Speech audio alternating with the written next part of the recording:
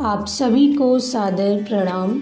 आज हम लोग युग दस्ता वेद मूर्ति तपोनिष्ठ पंडित श्री राम शर्मा आचार्य जी द्वारा लिखित गायत्री महामंत्र के पंचम अक्षर व की व्याख्या, नारी की महानता नामक पुस्तक का सार संक्षेप सुनेंगे, जो कि इस प्रकार है।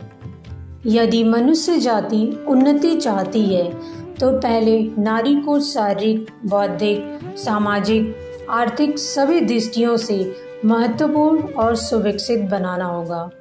तभी मनुष्यों में सबलता, सक्षमता, सद्बुद्धि, सद्गुण और महानता के संस्कारों का उदय हो सकता है।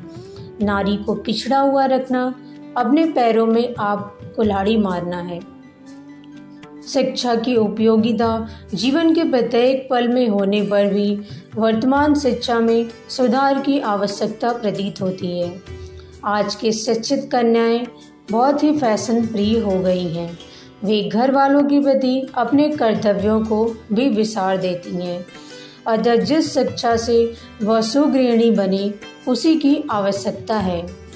हमारी पवित्र मातृभूमि भारतवर्ष ने सुलभा, गार्गी, मदालसा आदि साधु नारियों, सीता, सावित्री, अनुसुईया आदि पतिव्रताओं तथा मीरा जैसी भक्त नारियों को भी जन्म दिया है। आधुनिक नारी वर्ग को उनसे प्रेरणा लेनी चाहिए। सदित्व स्त्री का सर्वोत्तम अलंकार है। स्त्रियों को गीता, भागवत, रामायण तथा अन्य धार्मिक पवित्र ग्रंथों का ज्ञान होना चाहिए।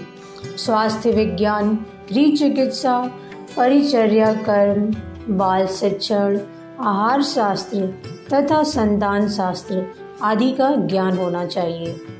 बचपन से ही नारी में भोलापन होता है। उनमें सहनशीलता, सुकुमारता, लज्जा, उदारता आदि गुण स्वाभाविक होते हैं और साथ ही होती है आत्मसमर्पण की प्रबल साधना। यह जिसे आत्मसमर्पण करती हैं उनके दोषों को नीलकंठ की तरह जीवन भर बूंद बूंद करके पी जाने में सतत प्रयत्नशील रहा करती हैं और उसे मानती हैं अपना स्वाभाविक देवता। धर्म और संस्कृति के प्रतीक स्वरूप भारतीय नारी किसका हल नहीं रखती? वह दानों को भी मानव, हत्यारे को भी धर्मात्मा और निर्दय को भी सदैव बना सकती हैं। उनके आंसुओं में धर्म है वाणी में संस्कृति है और हास्य में सुख का राज्य है। मानव धर्मों का सच्चे अर्थ में केवल वही पालन कर सकती हैं। स्त्री, गृहिणी, माता तथा सहचरी के रूप में समाज के उत्थान में भाग लेती है। माता शब्द तो पारिवारिक जीवन के लिए मानो अमृत का भंडार है। माता परिवार के लिए त्याग तब और प्रेम की त्रिवेणी ही है। माता और पुत्र का जो प्रेम परस्पर रहता है, उसी से पारिवारिक जीवन अधिक सुखी बनता है।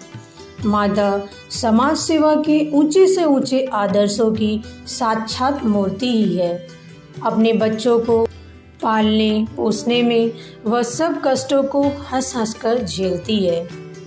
आज भारत की मांग है अध्यात्म एवं वैदिक धर्म का पुनरुत्थान और भारतीय धर्म एवं संस्कृति का पुनर्स्थापना।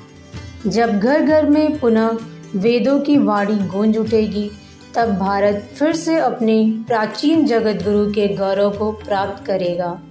हर क्षेत्र में सामाजिक, आर्थिक, धार्मिक, राजनीतिक, नैतिक एवं नैस्टिक पुनर्गठन करते हुए भारत के शिक्षित नारी जिस पथ का निर्माण करेगी, वह पथ बड़ा ही सुगम एवं आध्यात्मिक होगा। फिर से भारत में ऋषियों की परंपरा जागृत होगी।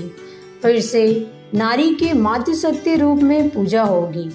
वह आज सबला बनकर चेतना, प्रेरणा, मुक्ति एवं आध्यात्मिकता की साकार मूर्ति के रूप में अवतरित हो रही है।